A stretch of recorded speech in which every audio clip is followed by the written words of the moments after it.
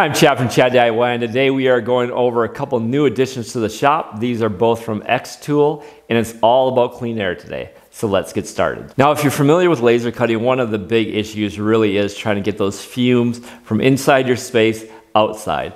Now, when you're using laser cutters, whether you're doing wood or acrylic or whatever, you can have smoke, you can have VOCs. There can kind of be some harmful stuff that you don't want to breathe in. So there are kind of a couple of options. A lot of people try to exhaust them outside a window or something, which can work decently well. But what Xtool really has done is created a product or a couple products now that does an incredible job at eliminating those fumes, not just uh, with a window, but actually doing it without a window through this filtration system. And we're gonna check that out now. Now jumping into this AP2 air purifier system. Now it kind of looks like this futuristic computer tower to me. Uh, it's on wheels, it kind of slides. So aesthetically very pleasing, looks really cool. But uh, the super great and easy feature is this front cover just magnetic. You just pull it off and then it kind of unveils the filter system that it, that's inside of it. So you got all these different filtration systems, and not only are you gonna have a great result with the dust, so the dust is, I believe, 99.97%, you're gonna get all that dust. You're also gonna have those VOCs or those harmful things that you don't wanna breathe. That's almost 98% um, that is, it's filtering out just with this system. So uh, I can provide the links on all this so you can really deep dive into all the the really specific percentages of what it filters. But it's kind of like nothing that I believe is on the market. Where Xtool has does have some other filter systems, some smaller ones for like the F1, um, and I have both those other standalone uh, air purifiers, but nothing comes close to uh, the filtering that you're going to get with this AP2. All right, now that we got the front lid open, kind of, we can take a little closer look at the filters. Now these filters are kind of box style filters. They just kind of slide right in and out. So you can kind of get a gauge of that. Really nice how they have them labeled too. Um, so there's no confusion when, if you took all these out or replacing them, there's no kind of confusion what order they're to be in because you're to have the one through, one through five and then the top is the cyclone, um, the fans and everything. So really makes it easy to kind of uh, change out the system, and if you need to replace filters, um, they make it really convenient for that. All right, we'll just kind of throw that cover back on. Now you kind of see the inside. We'll kind of flip around to the back, make sure it doesn't go off the table. And the back is pretty straightforward. So you have your power button. Um, you got your in and your out with the airflow. So it's uh, going to be the standard kind of, most of the X tools. well, not all of them, but the, the bigger ones kind of use the three inch diameter um, ports. So it's already kind of married with that style. So that's uh, it's going to work, work with your Xtools very well. The, I'm sure you can get adapters if you have different laser cutters as well to use the system. But one of the huge pros of the system is going to be the smart features that it does include. All right, so what do I really mean about the smart system that these inline fan and then the AP2 use? Now, with, in comparison here, we have the smallest uh, air filter that Xtool offers this paired up with the F1 is, is really a great setup, especially being portable and everything. But so this smart feature with the F1, the small engraver, it can tell you plug it in the F1, you start your engraving, this thing automatically kicks on, and then your engraving gets done, and then it runs for a little while, just make sure the air is getting purified, and then it shuts off. So really cool, nice smart feature. You can also turn it on and off manually, but just a convenience factor about not having to, to actually do that when it's hooked up to the F1.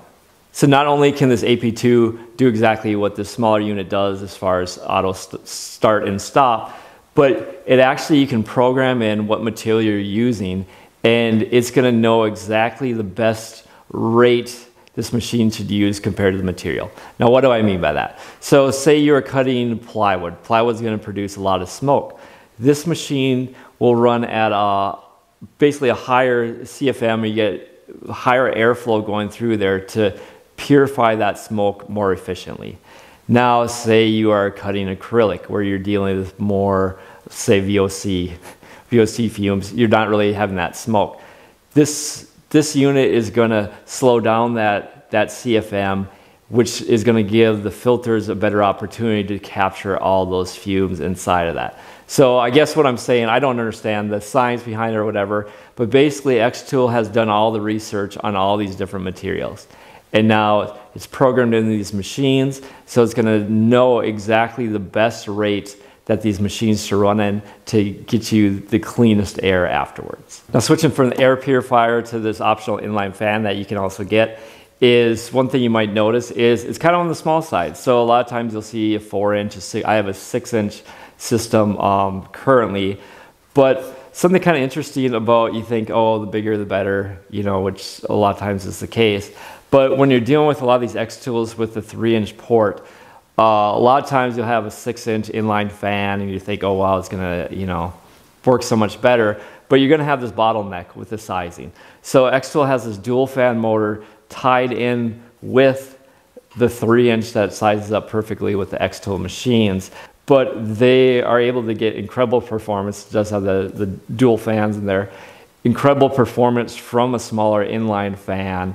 And what's nice is how small this is. So it, you have brackets, you can mount it pretty much anywhere. Uh, the bigger six inch inline fans that you can get they definitely take up some space. You have the bigger ducting and everything. So it's small, compact. It's got the smart feature, but you can also just run it as well. So um, really cool couple products now from Xtool.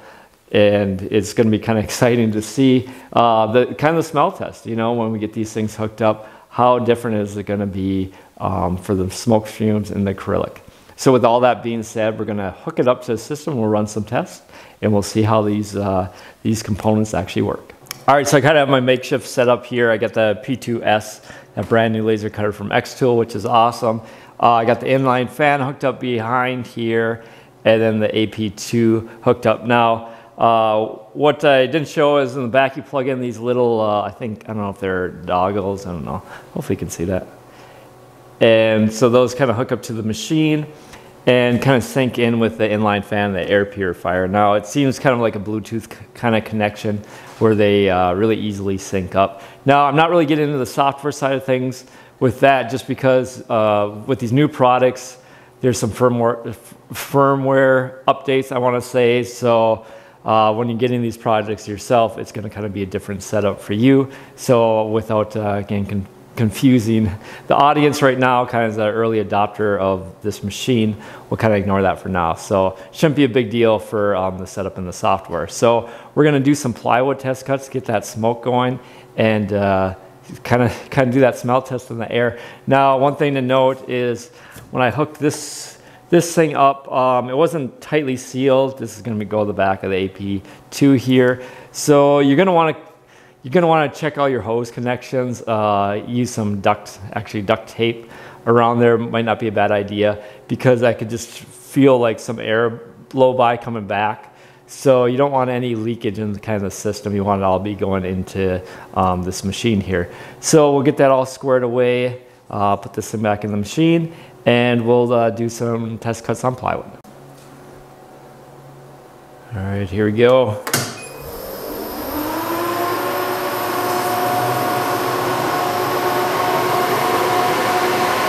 All right, it's pumping through. It's kind of hard to hear now a little bit, probably with the microphone with the fans, but I am not smelling anything right now. Yep, still. And I feel just the tiniest bit of airflow around um, the seal, this hose here. Like I mentioned about that tape, uh, it's a good idea. So, so yeah, when I smell that, that's where a little bit of smoke odor is coming from. All right, so that plywood test went really well. Just a hint of smoke smell in the air. Almost positive it's coming from um, these hoses and that's the leak through. So you're getting a lot of airflow coming through this setup. So it's, it's just, you're going to want to make, make sure you tighten up all those joints so you can kind of just feel around pretty easily, see where the air is coming from. So I'm going to kind of that and we're gonna do some acrylic next. Now, I'm kind of, I was wondering like how am I gonna film a video on air quality where it's a video, it's you can't smell it, so it is kind of tough um, like relaying that message of how these machines work, but hopefully the visual will give you the idea. And we're gonna try some acrylic. Now, in the past for me, acrylic's been the worst. It for me, it's been really hard to like get all those, even with the outside air set up, get those smells out of the air. And for me, like those smells are probably worse than the smoke smells as far as your health. So we'll try some acrylic, see how that goes, and we'll see how the system works.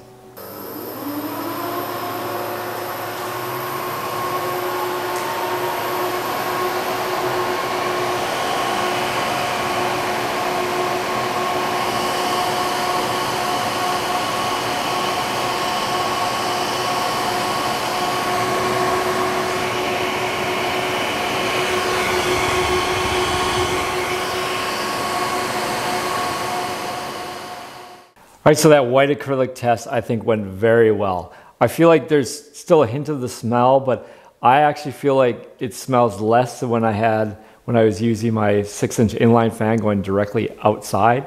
I don't know if that's possible, but it's it seems like this did an even better job. Now, which is interesting is I'm trying to like isolate where even that hint of smell is kind of leaking out or whatever, and the back of the uh, AP2 just kind of smelling that air directly it I couldn't smell it at all. So I'm I'm suspicious that the fumes that are getting out aren't because of this machine. It's probably still I you can see I, I did tape uh, tape the joints and everything, and so I'm definitely gonna kind of leak test throughout the the ducting system as uh, for potential leaks. Because I feel like if you get this system all sealed up going just through this machine, it's going to do an incredible job.